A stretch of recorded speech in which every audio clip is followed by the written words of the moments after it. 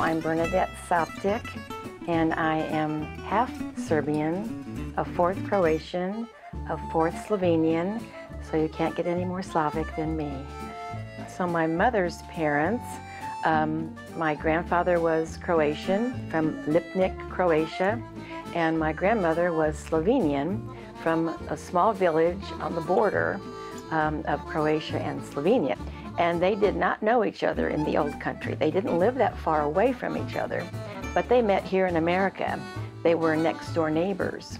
Um, and when my grandfather first came in 1912, um, he was the fourth brother to come, and they all stayed in the same house on Fifth Street in the Strawberry Hill area. My grandmother came in 1922, and um, her father, my great grandfather, had come in 1912, worked for the railroad, and he was just now, after all those years, getting enough money to send for the rest of his family to join him. So he sent for his three daughters, and then, so they lived next door to the Moterson brothers. And um, so they all sat on the porches and talked, and my grandfather spotted her one night and thought, I'm going to marry her. And she had no idea. And he also worked in the neighborhood tobacco store. So my grandmother would go down the street to the tobacco store to get the favorite tobacco of my grandfather and she would keep forgetting the name and he knew it so he would help her and kind of make her linger and talk.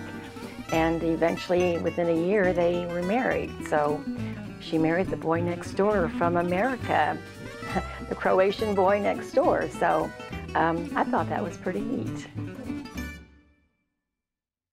i-70 i do remember because i lived on fifth street and one house away from our house is the beginning of I 70.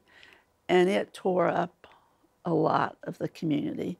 And that's when a lot of young people moved away from Strawberry Hill when they, because it was in 1958, I think, when they started to do all of this.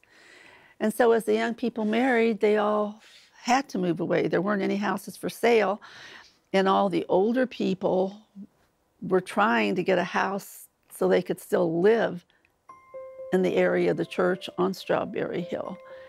And I think that was the beginning of uh, spreading out where everyone didn't stick so close together. And uh, I remember the pastor of our parish, Monsignor Steinmack, well, they uh, started Christ the King Parish West. And there were so many of the young Croatian people who went that way, he used to refer to it as, as uh, St. John's West. But it, I-70 had a big impact on this area, a very big impact.